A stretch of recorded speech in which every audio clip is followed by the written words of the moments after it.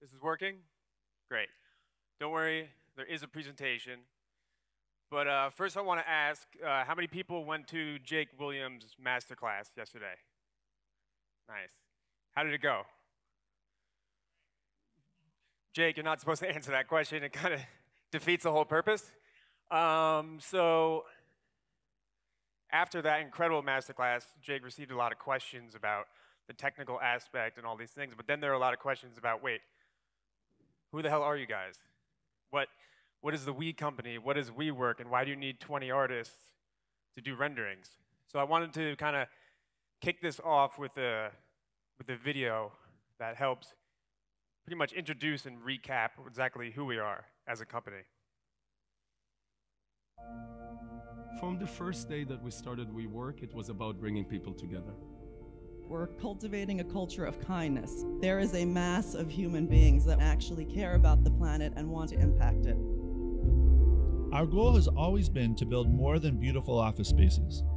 We wanted to unlock the potential for individuals to pursue their purpose. We've created a physical world equivalent of a digital platform. Beyond community, our technology and services power the world at work. Our software finds the best buildings in the best locations before we even begin construction, we build full 3D models to make sure we're creating environments that allow members to thrive. We collect data from hundreds of existing WeWork locations all over the world and use it to inform our design process. This lays the groundwork for a precise plan. When construction begins, our teams can build quickly and efficiently. Speed is important because on average, we open two new locations every single day. Our technology empowers us to continually improve our product and scale fast.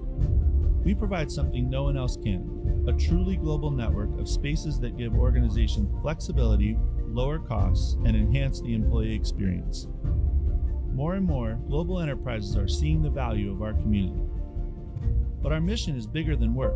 The We Company is building the first global platform designed to bring people together to live purpose driven lives we have to reimagine how the world works, lives, and grows. The single most important word is we. Okay. Uh, all right, I'm done. Thank you. All right, now we could get to the presentation. Okay, the We Company Visual Studio. I've titled this choosing the path less traveled because we are a very unique studio. We are not an in-house architectural rendering studio. We are not a architectural visualization studio serving clients. We're, we're a new breed, and I'm trying to pretty much introduce to the world, in, into the world what makes us unique and so different. So who the hell am I? I, uh, I've been at the We Company for about three and a half years. I started the department, uh, have an interior design background. Obviously, one thing led to another, and 3D rendering kind of took over. And so, 10 years later, here we are. You guys don't really need to hear much more about me, but I think after a couple beers later on, you will. A uh, quick recap of all the numbers we have as a company. It's a lot. And just about two days ago, we got new numbers. So we're in 485 locations, 110 cities across 28, uh, 25 countries, with now close to 500,000 members worldwide. And though that's, that's a lot. And you can see the numbers doubling almost every single year. So 2020 is pretty terrifying. So why do, you, why do we need a visualization studio? Why do we have to do renderings at such a, such a scale that we do? On average, we open 25 to 30 new locations every month. And our job is to create renderings and a digital footprint in these locations that have no presence. And our team produces all these images and animations and virtual reality three to six months before these locations open so the marketing and sales have an opportunity to hit the ground running so early on because our process from a lease to opening day, all through design and the whole process is about six months total. And so everything kicks into gear. Everything is so, so quick. But first, I want to introduce my team. These wonderful human beings. I have a team in the US,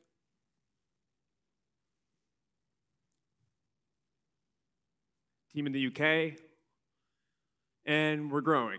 Uh, just this year, we hired everybody. it was just me and Jake for the first two years, and all of a sudden, our hyper growth kicked in, and we really had to really take it to the next level and just hire as many people as possible.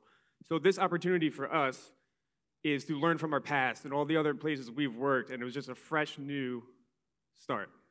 So, when I was tasked to start the department, run it, I was like, okay, I'm gonna lay down some groundwork right now. This is how things are done because of what I've learned in previous positions that we wanted to make sure this didn't happen again. So this is basically where we come in during the whole process of building start to opening. You can see that we come in after the design because my team, you'll hear, you hear me talk about this a lot, we need to scale with this company. So the old way of running a team just does not work with a hyper-growth company. Um, we don't start a project until the design is 100% complete. So we don't do design iteration renderings. Um, architects don't tell us what to do. Interior designers pass along a project, and we have complete control from start to finish with cameras, finishes, lighting, entourage, storytelling. I know you're all jealous. And that's one of the things that makes us so unique because of our hyper growth. Everybody just needs to do what they do and move on and trust that the next person and team can do it. So, what's great is that our typical workflow is that we create four to seven still renderings in 10 days. Um, and so, if you have seven teams creating about two projects a month, that's a lot. And what's great about that is every single project that we do comes to life and we're able to see the product three to six months later and compare it side by side. So a little mission statement that I kind of created for our team is innovating through optimization empowers the artist to create and grow. Um, so a couple things that we really wanted to make sure and think about that didn't really work in previous positions we wanted to kind of solve for. So the typical workflow of a production line where one person does this, one person does that, another person does lighting, only does modeling, only does post-production, that's not gonna work for our workflow. So we, we began to rethink our jobs, our job titles.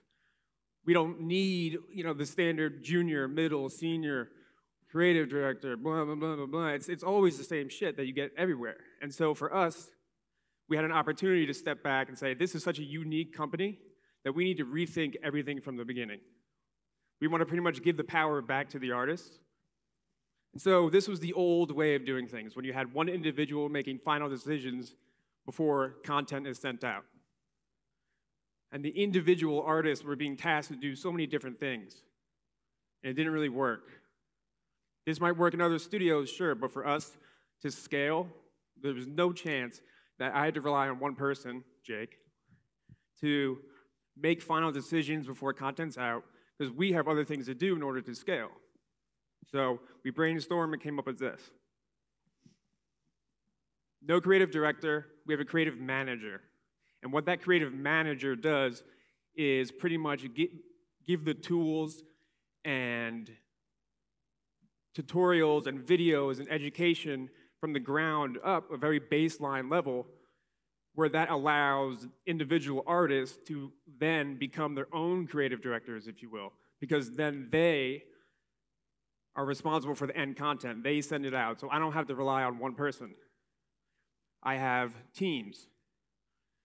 And another thing about the teams is that, well, let me start over with that. I gained some uh, inspiration from the world of advertising.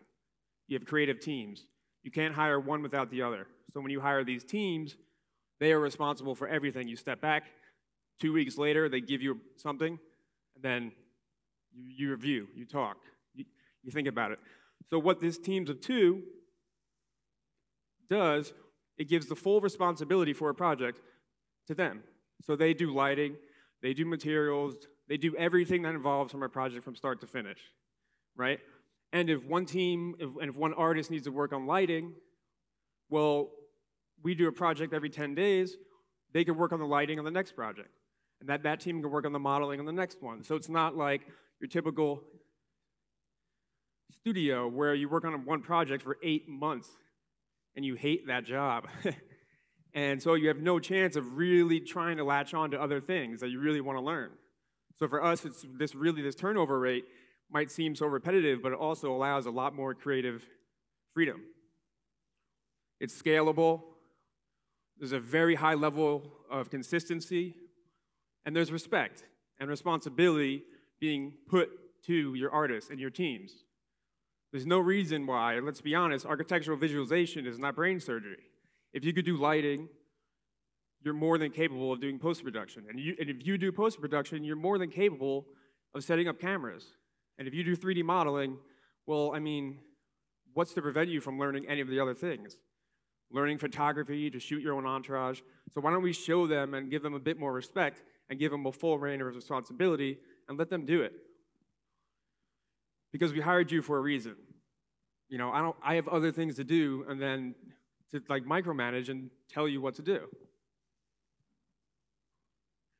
So this is my favorite part of the presentation. Now we start getting into the work that we've done. Um, activate the space. Who has heard somebody say activate the space? Maybe it just might be a US thing, but client facing, a lot of times, you'll have these meetings and they would just say, well, I, I, I, don't know, I don't know, just activate the space. Well, what the hell does that mean? Oh, a million people here, oh, put a bunch of stuff there. They don't really know what they want. So how about we kind of stop activating the space? And I'm going to show you an example of what we've learned before coming to WeWork and what the thought process in these other studios that we worked at is what we had to do for a client. And that's this. And that is disgusting. And I absolutely hate this image because I did it. And that was the old mentality, right? So, what happens when you activate a space? This is what happens there's no focal point, it's just a full on mess. That's, this is what you get.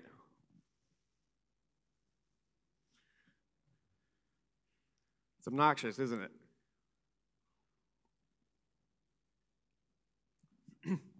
so, that's just a quick little pet peeve of mine. Stop activating the space. Do yourself a favor and kind of find clarity, find focus, right? Because at some point after we did so many of those jobs, Jake was like, this is such crap. We need to stop. We need to reevaluate because we have the chance, because this is our department. Nobody's telling us what to do. So why don't we take advantage of that? It's great. So we spent some time focusing on how to adapt and evolve, right?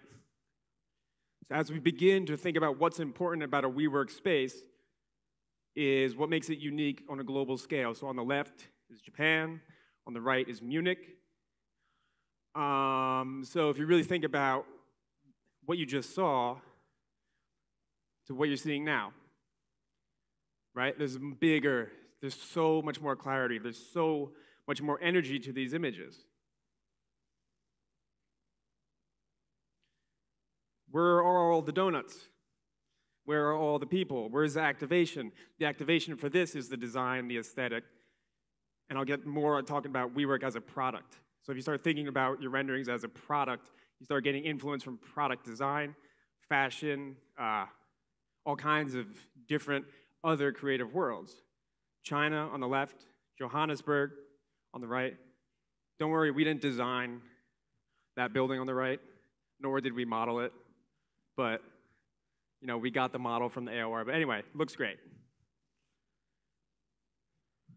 This is not a WeWork. This is a WeWork Food Labs. Different business line, I won't get into it, but you can see that same mentality coming through, right? Again, clarity, focus, let some of the other things tell the story the furniture, the finishes, the location, uh, the architectural elements. Again, more examples of the food lab. I probably put, should have put that slide on there, but that's my fault. More on the fact that we are a product. We work on a scaling level, has to have the same sort of energy and vibe and consistency throughout the design. Therefore, we use furniture in every single project all the time. And you'll be, and you'll be able to see that throughout our images, more and more consistency, consistency coming through. That chair is there, that chair is there. So what really happens is that we have the opportunity to make sure that that chair is the most perfect chair and we'll never have to touch it again. So we'll spend hours modeling it, a whole day creating the material, and really testing the lighting so when you put it in any situation in any WeWork around the world, it's gonna look the same because it's a product, right? This side table we use in every single project. So why recreate the wheel? Again, so you're beginning to see what makes us so unique is because our workflow is kind of the same each, each step of the way. Each project is so similar, so we're trying to take a step back and be like, okay, where can we become more efficient and optimize and automate, which I get into a little bit. And so, a location in India, much different design. What's more important, the activation of the space or that architectural element? Um, not until you put less people in your images will you understand how much better it is when, you, when you're presenting. You have to think about what it is you're selling. I'm not selling the people in the space, I'm selling how the people use the space. So it's always about the space.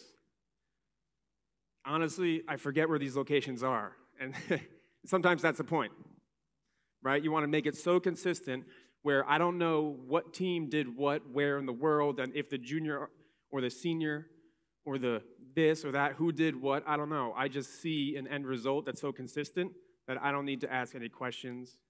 And that's the whole point. We spend that time to make sure that that's the case.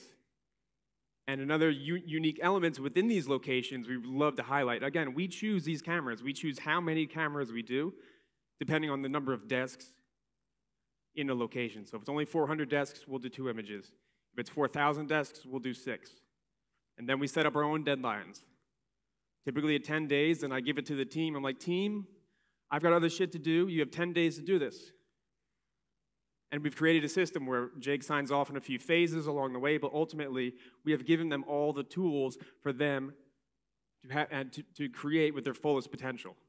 And that was the whole, whole plan. So when somebody comes in and has only been in this company for one month, two or three months, they're producing the same level of content that Jake would. He's been here for three and a half years. That's the point. You trust these artists, you give them the tools, and they will become their own creative directors. Again, more product showcasing.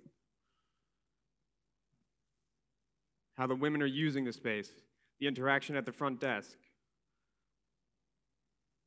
furniture, product, you know, if a one point doesn't work, or if a two point doesn't work, we go up, look down, because we gain inspiration from product designs, fashion, architecture, furniture.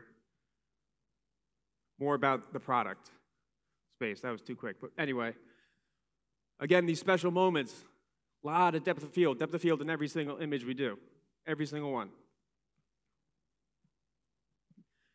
What makes it so unique? You'll never see those elements in these nooks anywhere in the world, anywhere else. Again, China? I think so. I'm not entirely sure. This is one of my favorite images about showcasing the furniture. Those ottomans we use in every single location. And it's all about the material and the shader that we created that we don't have to trust. We just throw it in there. Stop reinventing the wheel every time. We don't need to do that because we have such a we have a catalog, a product catalog. We just throw things in. And so again, now you're beginning to see how we are so efficient, and 10 days is enough time to create six of these high-level renderings. This is a project we did with this company called The Wing, which is an uh, all-female co-working company who just introduced their first location in London, and it was a company that we invested in, and they came to us to help them visualize their space. So I'm just very proud of this one, because it's very unique, and it's just absolutely beautiful. Oh, how the hell did this get back in here? It's, garbage, right? So now you're beginning to, again, continue to see how ridiculous some renderings are and how much you don't need to just stop. You know, of course, clients, but again, this is our company and this is our decision, and this is what we do. What I'm most proud of, I think, is our level of commitment to putting people in our images. And if you went to Jake's masterclass yesterday, you'll understand the insane amount of detail that goes into this. We don't have a professional uh, photo studio, we don't have a budget. We just have an office of diverse people that just happen to be sitting in the same exact furniture that we put in our renderings because our HQ looks like any WeWork in the world. Right? So we'll just find people around the office like, oh, don't move, but just sit in this chair. And my team will just measure with the camera and 3D Max, set it up, boom. Don't, don't overthink it. You don't need a budget for photography if you don't need one. You just need a decent camera and someone that knows how to push a button. You know, that Photoshop, hello, it's there for a reason. So we don't overthink it. Get the lighting, and that's it. Right? Custom photography in every project. Real, real simple. No green screen, nothing, just natural environment. Put it near the light. Don't overthink it. They were just hanging out down there, and we just look around the office with our rendering like you. You want to be a model? Dogs are extremely important. The first question we ask every time we start a project is Do they allow dogs? Because honestly, dogs sell much better than humans. Um, just, just a known fact. So I don't need to go on in much detail about that. Beautiful, good dog. Very good boy. Again, more custom. You can see the difference. Deactivate the space, but allow yourself to see how the space is being used by people in which you curate.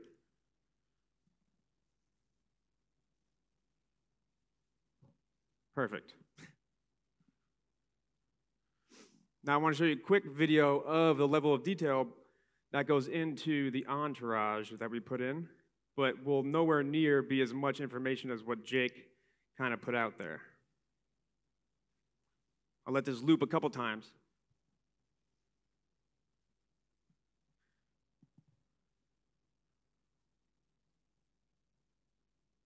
See, it's not just putting somebody you get off Google or the same Viz people. No offense to them at all, but like they work, and sometimes we use them for our enterprise clients. Um, but you know, we have an opportunity to just step away and really rethink how we do things. So I kind of want to just show one more video that my team put together before I get on to the second part of this presentation.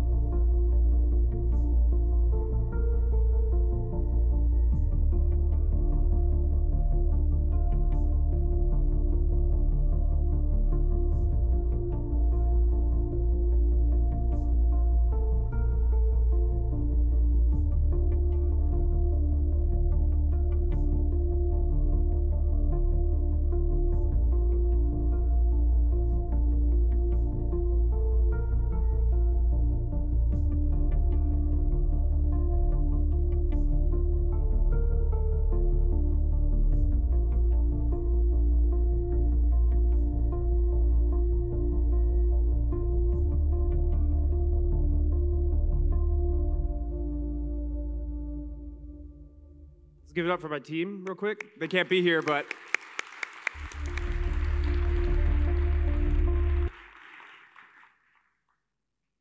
So if we get back to the presentation, of course we got to keep bringing it back to this. Trust me, if, if you find me later, there's a whole slew of these from 2016. They're so bad. But, you know, it is what it is. So just a couple, we get into the next part, render versus photo, Because again, now that the, the, the photography team on site, when they open two months after we create the renderings, they're, they're gonna match up our renderings, and it's so much fun to see. Again, it's so great to see an end product. And then when you travel around the world, you can go to these locations because we have so many. You can see your renderings and compare. Jake, the carpet's the wrong way. Un- unacceptable. And so you can see the background's pretty accurate is because we went on site in New York.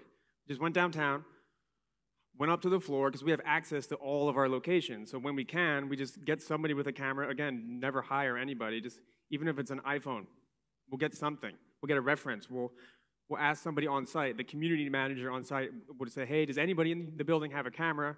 Somebody say, "Yeah," and then we'll get that. Again, it's this whole connection that we have during a project. It's not just a client telling us what, what to do work 80 hours a week, and go home and feel like shit. Again, not exactly perfect, but you can see that it, the architecture, um, the layout, the carpet, and we gain inspiration and all this data from all these projects we have because we see the end result.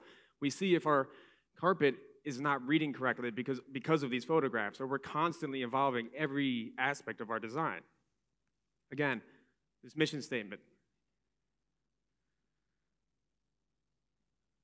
Kind of my favorite part, right? So you have a process, stop and find the bullshit, right? Like, what is pissing you off about your workflow?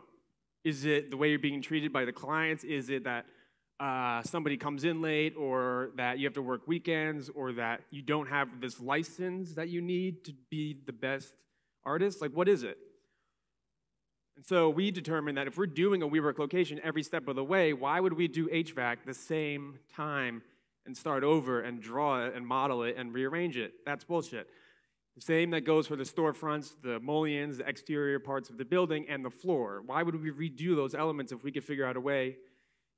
Because we're spending 30% of our time here, there, 40% where it's really creative, that's so inefficient because we have an opportunity to capitalize on our workflow that does not exist in any other company. So in doing that, we switch it up and focus on the elements that are really, really important. The furniture, you know, then the lighting, and then my team is able to spend day a whole day with the materials and telling a story because some things are now just completely done for us. Thank you, RailClone. We love you so much. Uh, my team has done such an incredible job in figuring out what is a problem in our workflow that takes too long. Oh, oh, okay, good. So the sprinklers, the HVAC, the exit signs, the security cameras, uh, the smoke detectors, the carbon, whatever, whatever is up here is done automatically now through RailClone.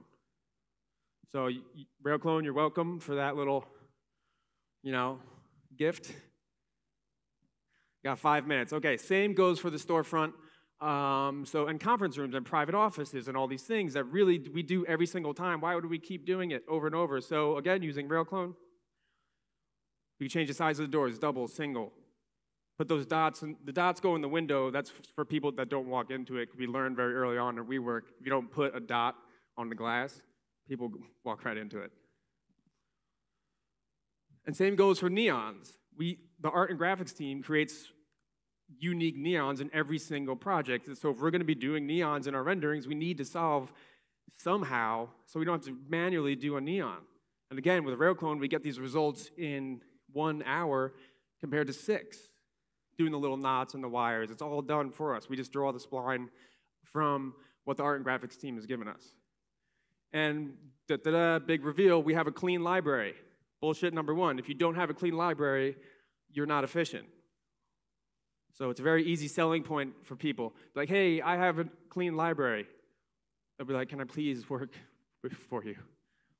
And so now it's so important that because we know what furniture we're going to use every project, we know where to find it, we can categorize it because of the WeWork standards, and then just dump these in. And when a team is done with a project, typically you just do shit and you don't tell anybody, and you just put it wherever the hell you want. And I'm like, nope, that, that that's more bullshit, and I don't want that anymore. So when a team is done, they create a PDF document saying, these are the things I've done in this project, model, material, here's where you can find them. And everybody's like, oh my God, thank you. Because wasting hours and hours and hours of your day trying to find something, it, it just can't happen. So this is actually perfect timing. Uh, looking ahead, uh, you're pretty standard, Unreal, you know, real time walkthrough. We really like to build off this because we, you know, for obvious reasons, it's getting much bigger in the architecture visualization world. Um, and one quick video of us, what I think is actually really great, is we're kind of porting this through an Xbox because we feel like this is a much more collaborative effort. Um, oh, there's no presentation if it doesn't have this. anyway, it's me using an Xbox controller to manually go through a space. And we feel like clients, because we do have a client aspect of our, of our uh, company, and, you, and, if you want to talk about my company uh, after to discuss, I'm more than happy to. I've got one minute, and I want to show you before we part the, the project management tool that we use. Nope. All right. That's fine. Um, lastly, I want to thank Chaos Group, all the, all the sponsors, all the people behind the scenes uh, to help with the logistics of getting this done because it's, I've been to a lot of events in WeWork and they are up all night. And so I really appreciate all the hard work getting everybody the flights and all of that. Nova Hotel has been great. Um, and I just want to thank everybody to allowing me to represent my team and introducing us into the world of visualization. And if you have any questions, might not have any time, but please find me throughout the weekend. Um, I didn't go into as much detail about our workflow as I you know, would have hoped. But again, if you're interested in learning more about what makes us unique, please reach out. Thank you.